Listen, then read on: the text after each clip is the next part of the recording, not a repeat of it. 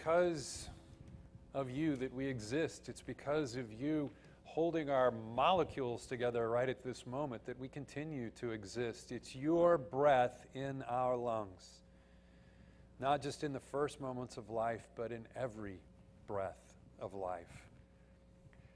And Lord, to realize that we can trust you, especially um, during a time when this disease, that's exactly what it does, is it takes people's breath away.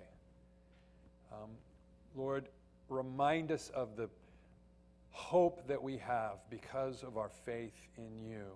And so that when this worship service is over, we feel closer to you, more encouraged, and more ready to be the people that you want us to be. And we pray this in Jesus' name. Amen. Hey, thank you all.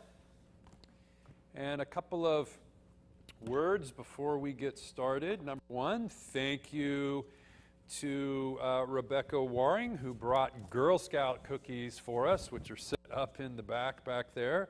And also to um, Jane and John uh, Greer, who brought us kolaches. So the uh, tech crew and the musicians and I have all put on about five pounds since the beginning of the morning. So thank y'all for that. It was very sweet, literally.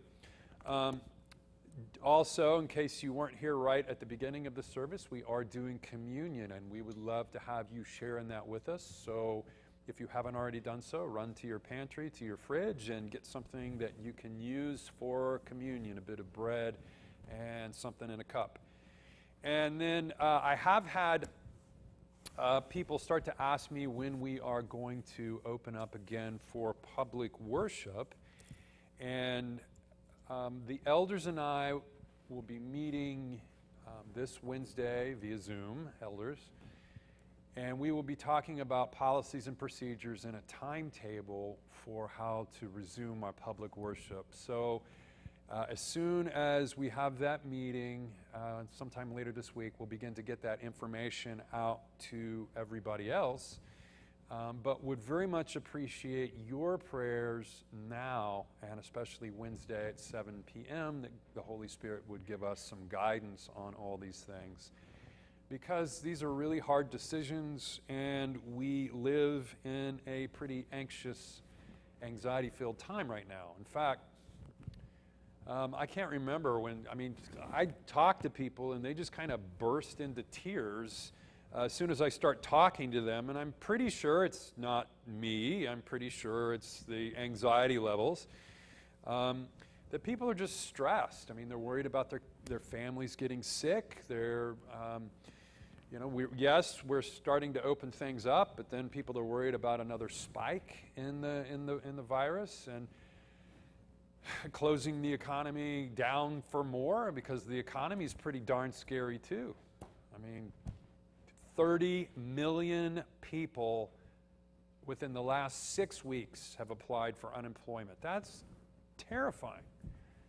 And I, I read somewhere, I can't remember where it was, that perhaps 50% of the world's population is going to be out of a job soon. So that is a real source of stress. And then, of course, you have to be careful about how much news you consume because, hey, the way that they get you to click on stuff is they put out the scary headline of one kind or another. And then, you know, you might expect for our political leaders to sort of be those calm, reassuring presences, which is prompting laughter from the back row back there because you know the, the political leaders just seem to want to point the finger at the other politicians in the other party and say well those people are destroying you know destroying our civilization. And everybody just seems to be sort of amping up the anxiety and the fear. And in a time of fear and anxiety i'm going to move this over just a little bit. In a time of fear and anxiety what keeps us going is, is hope. I mean hope Hope is that light at the end of the tunnel. Hope is the, the compass point that lets you know that you are going to get through the wilderness. Hope is what gets you out of bed in the morning. And during the times of high anxiety, during the hard times, people put their hope in all kinds of places. But what the Bible says is that the only sure source of hope is in God. Paul, the apostle, writes in Romans, he says, I pray that God, the source of hope, will fill you completely with joy and peace because you trust in him. Then you will overflow with confident hope through the power of the Holy Spirit. Notice what it says the source of hope there is it's God, but specifically our ability to trust in him. That if you want to have more hope, you need to have more faith, or at least make sure that you're putting your faith in the right thing, because a lot of times we put our faith in things other than God, and then those things don't pan out. So, what we need to do is find our trust in God in the midst of this so that then we'll have hope to get through this. Um, so, with that in mind, I want to spend the next few weeks or however long, my poor musicians, they're always like, Well, what's the plan? And I'm like, no That's Molly saying, There is no plan. There is a plan. It's God's plan. And He lets me know when He's ready, okay? But we are going to be reading through uh, Peter's first letter because that letter is all about Peter giving courage and hope to people who are going through a difficult time. So, with that in mind, let's just read the first two verses of the book. Chapter 1, verses 1 and 2. Listen now to the Word of God. Peter, an apostle of Jesus Christ, to God's elect, exiles scattered throughout the provinces of Pontus, Galatia, Cappadocia, Asia, and Bithynia, who have been chosen according to the foreknowledge of God the Father, through the sanctifying work of the Spirit, to be obedient to Jesus Christ and sprinkled with his blood. Grace and peace be yours in abundance. Amen. All right, in this age of Snapchat and texting and emails, we don't write too many letters anymore, but you learned, right, Molly? Last time I asked you about what kids learned in elementary school, you weren't really sure how to answer me, and you're an elementary age teacher. All right, so one of the things that you learn in, and I'm not even going to mention the math teacher behind the camera there, right? Um, that you learn how to write a formal letter when you're in grade school. And yes, you do. Thank, thank you, Molly. Um, and you learn that there is a form that you have to follow, that there's a salutation, basically a greeting. Who is this letter to? And then there's the body of the letter, and then you write who the letter is from at the end of the letter. And I know that you know, because we've talked about this before, that in the ancient world, they also had a structure for a letter, but it was just a little bit different than our modern form. In the ancient form, they started off with who the letter was from. This letter is from Peter, an apostle. And then they wrote who the letter is to. This is to God's elect who are scattered through the various provinces. And then they wrote the, the, the body of the letter. And that address of the letter really communicates, sets the tone for the rest of the letter. And remember, this letter is about hope. And just, I just read you, all I read you was like the, the address. Who is it to and who is it from? But right there, you already have the, the gist of where he says our hope is. It's based on how God addresses us. Right? I mean, when you address a letter, when you're writing a letter, if you ever write a letter, um, you, yeah, you can really tell a lot about the relationship, right? When you're writing a business letter, right? When you're saying, look, we don't, we're not really friends, but we're business associates. You learned in school, you write, Dear Sir or Dear Madam. And that lets them know the context, right? Or sometimes people ask me for a letter of reference. And traditionally, when you're addressing a letter of reference, you write, To whom it may concern. And what I'm saying there is, look, I know you don't know me and I don't know you, but I hope you'll listen to what I have to say anyway. And then there's a completely different address you give when it's a personal letter. You know, dear so and so. And if it's a really special relationship, Like, you know, if I'm going to write my wife a note, I wouldn't write Dear Allie, but I might write To My Dearest Allie or something like that because she's the dearest relationship in my life, right? So you, you say a lot about the relationship in the address. And what Peter is saying in this address is he's saying, here's why you have hope, because here's what God thinks of you.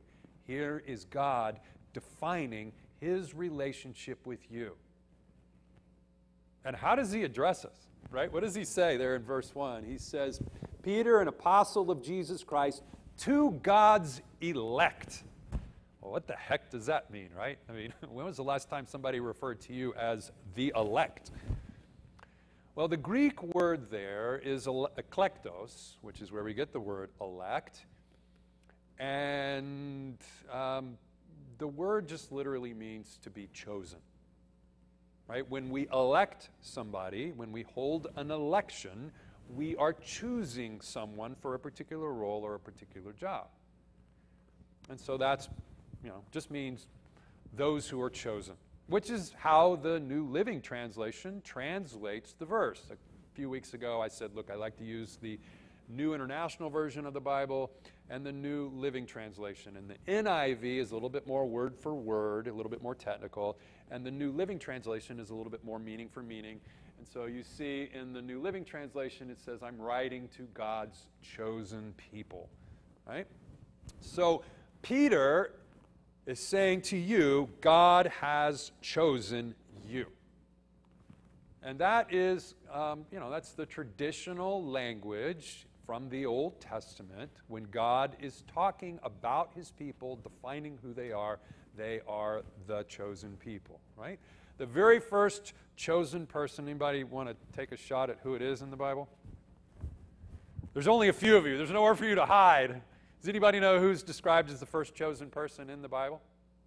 It's, it's, it's, it's Abraham. Yeah, that's right. It's Abraham. Uh, you are the Lord God the prophet Nehemiah says, who chose Abram and brought him from Ur, the land of the Chaldeans, and renamed him Abraham. And then, of course, Abraham has all of these children who have children, and they become this nation. And the whole nation, all of Abraham's descendants, are described as God's chosen people. Isaiah writes, As for you, Israel, he's talking to the whole nation, my servant, Jacob, another name for Israel my chosen one, descended from Abraham, my friend. So Peter is taking all of that language, all of that thinking about the chosen people, and now he is applying it to us, the followers of Jesus Christ, and he's saying, You have been chosen. You are God's elect.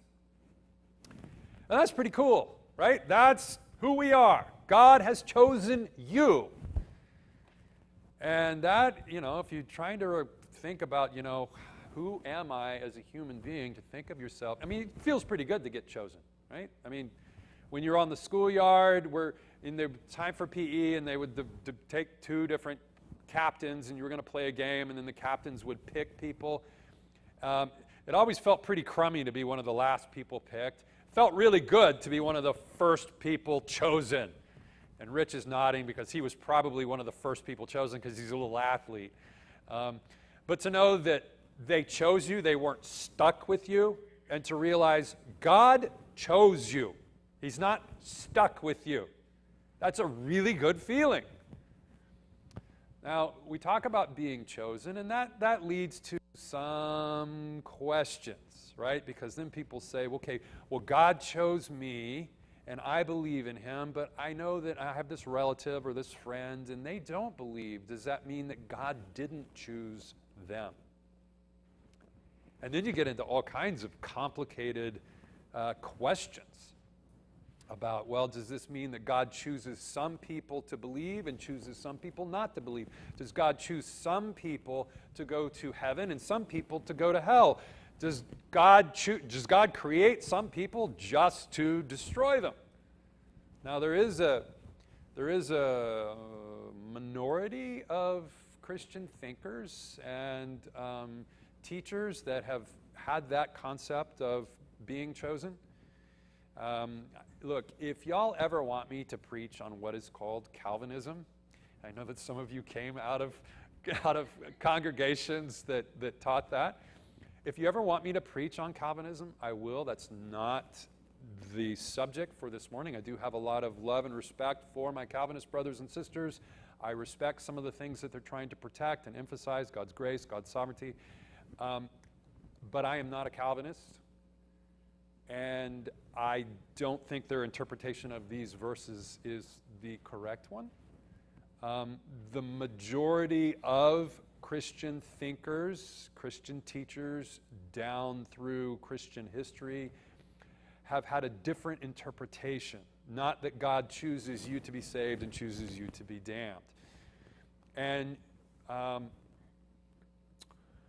oh, you can see that right in this passage, I believe, because in verse 2, it says that we have been chosen according to the foreknowledge of God the Father. Now, for, the, the Greek word for foreknowledge there is actually a word that you know because medical doctors use it. It's the word prognosis. That's directly from the Greek, right? If you know anything, if you ever been to a doctor and they gave you a prognosis, what were they telling you? They were telling you what they thought the outcome would be. You were going to get sicker, you were going to get better, here's how your health was going to look. But it was an educated guess. But a prognosis is here's what we think is going to happen ahead of time, right? Foreknowledge. Well, God is not a human being, right? Just as God is in all places at once, God is in all times at once. So God's foreknowledge, his prognosis, is not an educated guess. God knows what's going to happen. And the traditional interpretation of this passage is that God knew ahead of time who would respond with faith and who wouldn't respond with faith. You have been chosen according to God's foreknowledge of whether or not you would come to faith or not. That's the traditional understanding of this. Not that God decided before the foundation of the world that He was going to create you and then send you to hell, and you have no free will about it, you see. But there's more to it than that. Because our chosenness is based upon the chosenness of Jesus. Now, if you continue to look through 1 Peter, he doesn't talk as much about us being chosen as he does about Jesus being chosen. For instance, in verse 20 of chapter 1, we read that Jesus was chosen before the creation of the world. And then in chapter 2, Peter writes Jesus is the living stone rejected by humans, but chosen by God. That Jesus is chosen. Now, what I've said to y'all multiple times is that when we're joined together with Jesus by faith, we get linked with Him so that what belongs to Him is now shared with us. Right? Paul says in multiple places that we have been united with Jesus in his death, as if we ourselves were crucified, as if we had been the obedient ones who said, Not my will, but thy will be done. And the benefits of the crucifixion now are applied to us as if we had been crucified, you see. And then we've been joined together in his resurrection so that now we have eternal life. And that now we can look forward to our own bodily resurrection because we've been joined together by faith with Jesus who's been resurrected. And that Jesus' status, for instance, as God's Son, is now shared with us, so that now God is our Abba Father, and we too are children of God. When we're joined together with Jesus, what is true of him becomes true of us. And that is also true of his status as the chosen one. That now that we are joined together, we are with him and we too have been chosen. So that is the traditional understanding of why and how and what being chosen means. That because we have faith, which God knew we would have, we've been joined together with the chosen one, and now we too are chosen. Now, the question then becomes well, chosen for what? Right? He's picked us to be on his team. What's the game? And this is where people also have some messed up ideas about what it means to be chosen because they think, well, if I'm chosen and you're not, that means God loves me and he doesn't love you. That God has chosen me because I'm up here and you're down out down there. And look, in the scriptures, everybody who's ever chosen is not chosen just for themselves. They're chosen in order to go out and be a blessing to others and bring them to God. Now, who'd we say was the first one who was chosen in the Bible? Abraham. There you go. All right. And all the way back in the beginning of Abraham's story in Genesis 12, God says to Abraham that he is going to use Abraham not just to raise up and have a family that's blessed, but in order to bless all the families, all the people of the world. And then Israel is chosen. They're chosen and God's light shines on them, but they're not chosen so that the rest of the world can stay in darkness. What does Isaiah say? Nations will come to your light and kingdoms to the brightness of your dawn. And he's talking to the nation of Israel in that moment. And if you look in 1 Peter, he says exactly the same thing to us. Oh, where are we? 1 Peter 2 9 says, You are a chosen people. You are a royal, you are royal priests, a holy nation, God's very own possession. As a result, you can show others the goodness of God. For he called you out of darkness and into his wonderful light. All right, so are you feeling a little hopeless this morning? Are you struggling to have hope?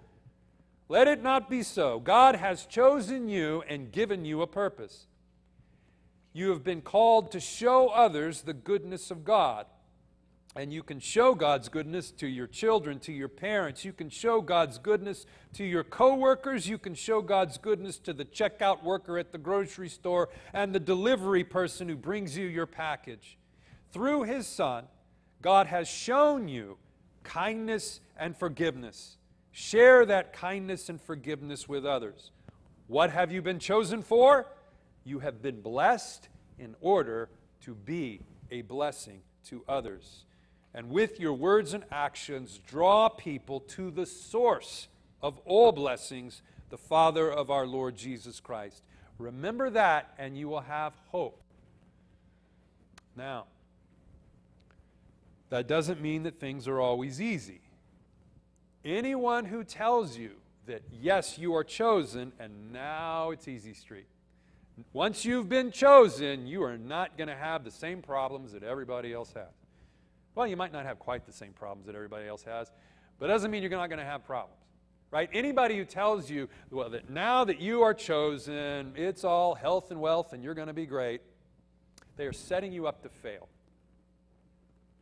Because then when the hard times come, if you think chosen people don't have hard times, what are you going to assume? God's left me, or I was never chosen. I won't ask for a show of hands of people here, or, well, of course, I can't see. I could, I could see the comments if you were to make the comments. I won't ask for them. If you've ever been through a hard time and thought, you know what, this whole business about God loving me, caring about me, I don't know that I believe it anymore. I won't ask for a show of hands because you know what? Probably all of us have had a moment like that. And when Peter defines who we are, he doesn't say, You are God's chosen and you are not going to have any problems. Look back at what he says here. He says, Peter, an apostle of Jesus Christ, to God's elect exiles scattered throughout the provinces of Pontus, Galatia, Cappadocia, which is, these are all parts of what is now Turkey. Exiles who are scattered throughout the provinces. The Greek word for exile there is uh, literally to live in the land as a foreigner. And actually, that's the way the, the New Living Translation, this is one of the moments where the New Living Translation is actually a little bit more technically correct than the, uh, the NIV, because the NLT, right, I am writing to God's chosen people who are living as foreigners. Now, what do we call people that live as foreigners in the land? We call them immigrants. That's exactly right. And we have quite a few people in our congregation who are immigrants from other countries. And so they may be better able to understand this verse than uh, some of the rest of us. That when you live as a foreigner in the land, there are all these things that are difficult about it. You have different customs and different ways to live, and different, you just, your way of life is just a little bit different from the natives of the land. And sometimes the natives of the land, they, they resent you and don't like you and don't even want you there and see you as a problem and they see you as a threat, and you may be economically vulnerable when you are living as a foreigner in the land, and you're vulnerable to prejudice and to mistreatment. And this, Peter says, is what it is like for God's chosen people who live scattered among others. Because as followers of Jesus, we have different customs, we have different values that may seem strange to the natives. We too can be misunderstood and disliked and resented. We can feel out of place. It's hard to be an immigrant. In a similar way, it's hard to be God's chosen people. And Peter's going to go on in this, in this letter and give us encouragement. But let's remember that the very people that we are scattered among, the very peop- they're the very people that we're supposed to bless. The very people who misunderstand us and may be hostile or difficult or unlovable are the very ones that we are called to love. God chose you. God chose you. Wherever you are, I want you to know that. Wherever you are sitting right in this moment, God chose you. He chose you to share His goodness with all the people around you. You have a reason to get up in the morning. Are you going through a difficult time right now? Well, before the foundations of the world, according to his foreknowledge, God chose you in his son Jesus. God chose you to be his child. He chose you to be a blessing. You are blessed.